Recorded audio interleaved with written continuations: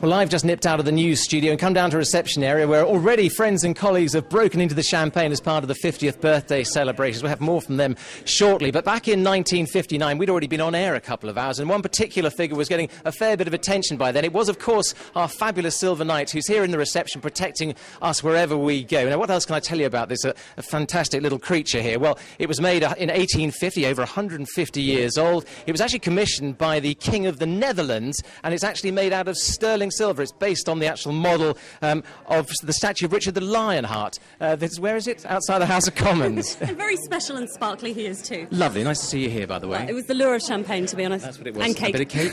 Yeah. now, all this week, we're looking back at 50 years of Anglia television. yeah, in a moment, we're going to take a look at the weather. But first, here's Natalie Gray with a look back at the news.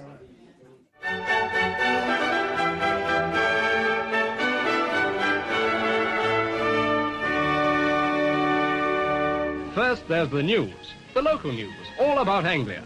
The nerve centre at Anglia House will be receiving news of every occurrence 24 hours of the day.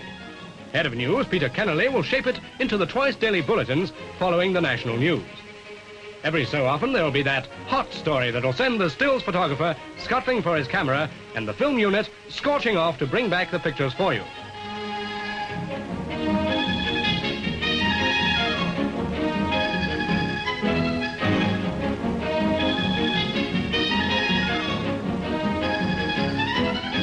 And 50 years on, we're still scorching off to bring you the latest news.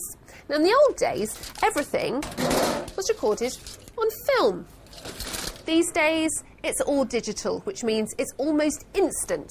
We put it straight onto the computer, get it edited, and put it straight out on air. And in its way, it was just as impressive in 1959. It's the only television studio in Europe with an electronic brain that actually times and cues in the programs. We call it Topsy. Then, as now, it's important to know what's expected of us reporters and presenters. After that, Colin, will be your interview with the minister, right? Righto, and how long have I got? And what line do you want me to take? Well, I suggest you have two minutes, two minutes ten perhaps, but, wi- you know, really winkle the truth out of him, dig it out of him, make Righto. him give us all the answers. I'll do my very best, righto. Somebody who helped us winkle it out over the years was Judy Finnigan, who grew up, of course, to be one half of TV's most famous husband and wife team. Is it dangerous? It certainly sounds it. Judy was Anglia's first woman reporter. Like everyone else in the 60s, I used to wear them too, almost up to my navel. What's it like seeing that? Oh, it's, it brings it all back, actually. It, it, it's it, it's lovely. It's really, really nice. You were Anglia's first Woman. reporter. How did viewers cope with that? I don't think they minded. I can't. I, I don't remember getting any letters of complaint. uh, it's about time, really, wasn't it? You know, it just. I mean, there were female reporters at Granada where I'd been a researcher. There were female reporters on ITN. I mean, you'll know that. I think that being a news reporter, particularly in a vast region as, as Anglia was then, is probably one of the hardest jobs in television. This film was shown to viewers in 1977, the day after Judy had given birth to twins, Tom and Dan.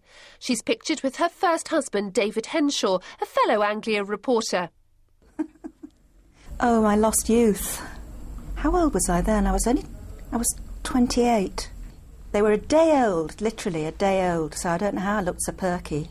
I think it was before I kind of actually went into shock. Here's a reminder of some of those other faces who've kept you company over the past 50 years. Hitchhiking just isn't what it used to be. abandoned their approach of rational debate. Well, while the doors here may...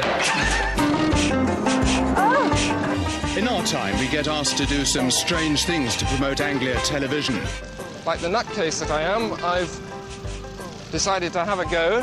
Now there's another big one coming up. I never thought I'd see Norwich like this. That's why they're campaigning for more accountability under future freedom of information laws. How are you getting on? Have you had much damage on the ground floor? Oh, only little... You're watching Anglia tonight. Still to come this evening. Make a live show that seems I did do an interview with a lion trainer in the cage with the lions. I don't think I'd be doing that again. I did do an interview with a knife thrower while he threw the knives. I did do a day on the trapeze at the circus in Great Yarmouth, and each time somebody came up with some idea like this, I used to say, "Oh, you won't get the insurance. They Anglia won't let me do that," and they always used to say, "No, we've got it."